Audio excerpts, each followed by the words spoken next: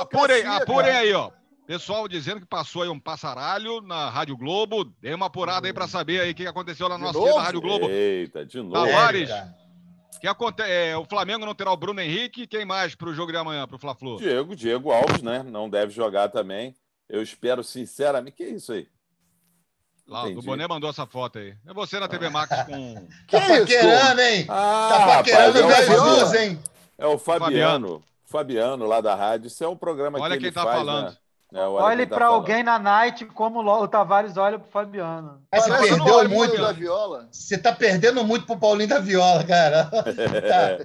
Você Belo, perdeu muito Belo. para ele, cara. O Belo, né? Meu Deus, cara. Que isso? É, o Flamengo não vai ter, não vai ter o Bruno Henrique, não vai ter o Diego Alves, nem o goleiro reserva, o César. Então vamos de, de moleque de novo lá. O Gabriel, Gabriel Batista vai, vai para o gol de novo. Tá tomando experiência ali, dois jogos. Não foi muito bem no primeiro, foi mais ou menos no segundo, não foi tão exigido no segundo, é verdade. Experiência e gol que ele tá tomando também, né? Tá tomando gol, né? Não, o Flamengo vem tomando muito gol. Aliás, isso é, é uma, uma, coisa que eu venho falando aqui. O Domi, depois que o, que o menino Mari ralou peito, o Flamengo nunca mais teve aquela zaga que tinha no ano de 2019. Tá difícil de acertar ali. Uma hora entra o Gustavo Henrique, aí joga mais ou menos. E aí entra o Léo Pereira, joga mais ou menos e fica ali o Rodrigo Caio correndo para lá e para cá, para lá e para cá para fazer a cobertura. Falei até de um jogo, não me lembro quem foi que o cruzaram, o lateral cruzou, o Gustavo Henrique com 7 metros e 10 de altura, não deu em bola, sobrou para trás para o Rodrigo Caio tirar ali fazer a cobertura. Aí ele foi agradecer, pô, obrigado aí, cara. Porra, tem que tirar, meu irmão. Zagueirão com 3 metros de altura tem que tirar. Então amanhã vamos de novo. A gente não sabe como é que ele vai montar essa defesa. Mas o ataque, espero sinceramente, volto a falar aqui, apesar de, de, protestos aqui do pessoal do chat aqui, acho que o Gabigol não pode não ser titular. Não pode ficar na reserva desse time do Flamengo. O Pedro é bom jogador, acho até que o Pedro pode jogar com o Gabigol. Ele poderia preterir lá o menino Michael, que não vem jogando bem, e botar ali o Gabigol, já que o Bruno Henrique não vai jogar, bota o Gabigol com o Pedro, acho uma boa mistura.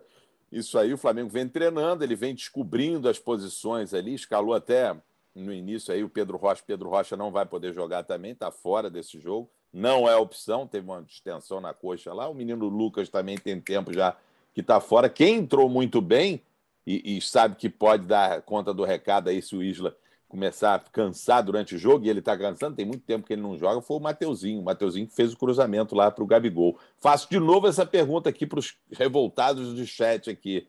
Quem faria aquele gol se não fosse o Gabigol? O chute que ele deu, com a perfeição que ele deu, de primeira. Um cruzamento ok, o cruzamento foi perfeito. Aquele gramado horrível Mas também, é difícil. Né? Gramado é horrível. Difícil, cara, um jogador ter a calma, frieza aos 40 e tantos do segundo tempo, de cutucar lá no Aí, cantinho. Tocou? Fazer, fazer aquele gol. Muito difícil fazer aquele gol. Muito Mas difícil. vai- O Lincoln perdeu um antes, muito mais fácil. O Ó, zagueiro do Fortaleza deu no pé dele, ele podia entrar com bola e tudo, foi, deu um peteleco, não, chegou, quase que não chega na mão do goleiro. Então acho que o Gabigol não pode ficar fora desse time, assim como o Bruno Henrique também não pode ficar fora do time. Ô, Tavares, eu li aí, não sei se foi no Globo Esporte, que os jogadores estavam, parece que estavam insatisfeitos com o negócio do rodízio, negócio do rodízio lá com o, o Domi, que não querem do jeito que ele está querendo. Tem, rola ali uma, um estresse do treinador. É, eles têm que se acostumar com o treinador. É um treinador de Europa, né? Que ele, lá na Europa tem muito isso, né, cara? Lá na Europa você é mais um ali, meu irmão. Não, lá é mais à la carte mesmo, não tem muito É, rodízio. tirando o Messi, tirando o, o Cristiano Ronaldo e essas grandes estrelas aí, o resto do time vai, vai fazendo rodízio ali. Não tem essa, não. Você joga um jogo, fica dois sem jogar. Eu acho que o rodízio, ainda acho que o rodízio, e é isso que ele está tentando passar para os jogadores e para a imprensa e para a torcida, que não querem entender, o rodízio é para botar todos os jogadores no mesmo nível. Tem um lá em cima, tem um lá embaixo. Acho que nenhum jogador está na ponta dos cascos ainda desse time do Flamengo. Olha que vai ter uma reunião Fisicamente, hoje entre a prefeitura, prefeitura e a federação para debater a volta da torcida no estádio. A reunião acontece às três da tarde. É, a ideia é adaptar a fase 6B, prevista para começar no dia 30 de setembro, com mudança sobre o retorno do público aos estádios. Vocês acham que está na hora de começar a voltar pelo menos aí um terço, um quarto da Tem capacidade? que liberar geral, vai de geral, por quem quiser ir, vai. Não é assim na praia, não tá assim nos ônibus. Vambora, compadre. Acabou já. Vamos embora. Tá é, nem aí. É difícil. É difícil dizer, cara. Sinceramente, a gente estava até Eu, por exemplo, não isso. vou. É, eu não vou. Eu não vou. Sinceramente, eu não vou. Só saio de máscara e só saio de vez em quando, pô, em último caso. Mas a galera está saindo, os, os números estão aí mostrando que há uma, uma queda. Não sei, cara.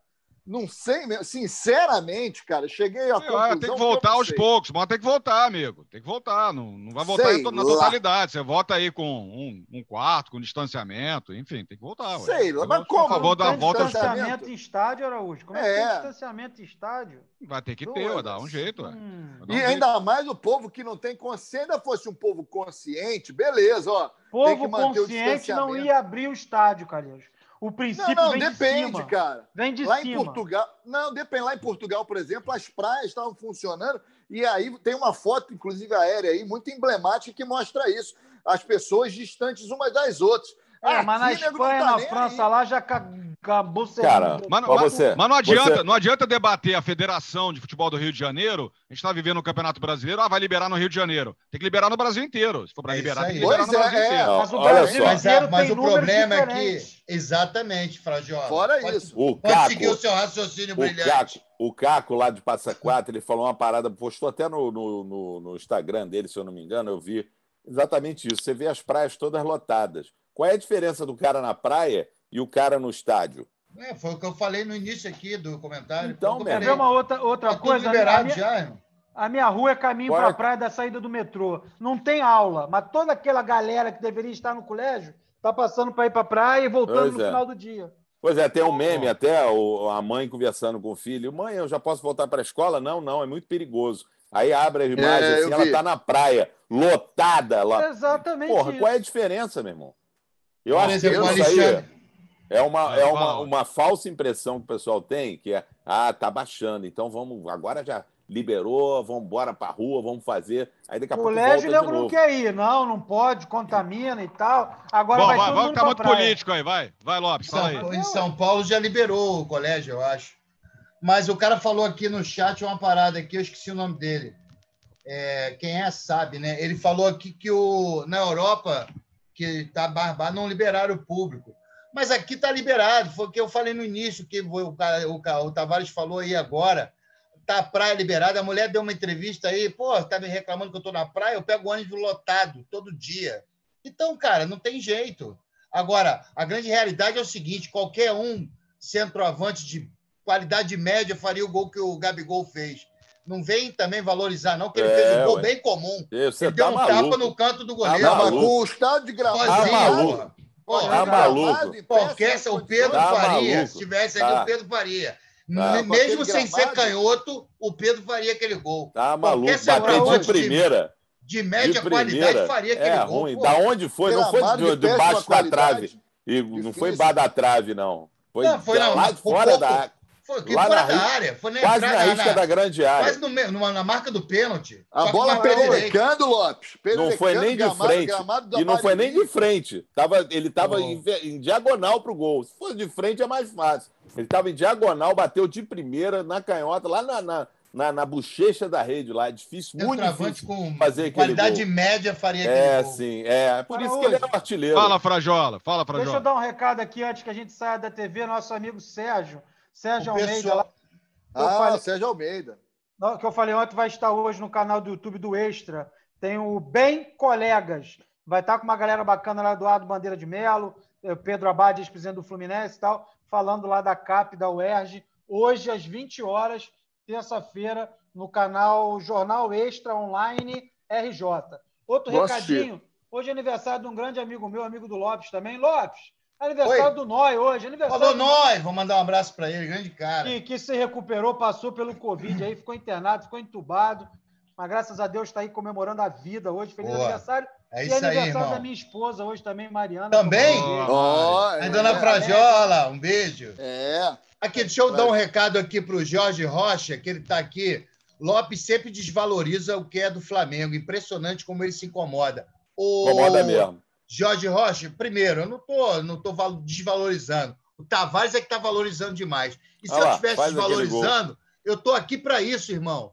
O, eu tô aqui para o, o, programa é esse, olha lá, na marca do pênalti. Qualquer quase centroavante faria quase aquele na marca da grande A grande vantagem, que é a, a, grande inteligência dele foi ter parado e esperado a galera aí. O, centroavante com média qualidade faz esse gol. Faz, sim. Sozinho, bola Olha lá, quase na risca da grande sozinho, área. porra. Bola quicando, cara. O gramado muito Sabe ruim, nada, né? Lopes, porra. É por isso que ele Olha foi... Aqui, ó campeão de tudo ano passado, artilheiro. É por que ele é como médio. É que tamo, como é que a gente tá não, de like não, não, aí, não falei que ele é médio, cara. Você, você é maluco? Não, não mas ele, ele é médio, meu. Se ele eu falei que qualquer, qualquer centroavante de média qualidade faria aquele gol, mas não falei que ele é médio. Qualquer centroavante, mais ou menos, faz um gol daquele Vai, O Léo Gamalho já deve ter feito uns 400 gols na Série B. Lógico, fez, sim.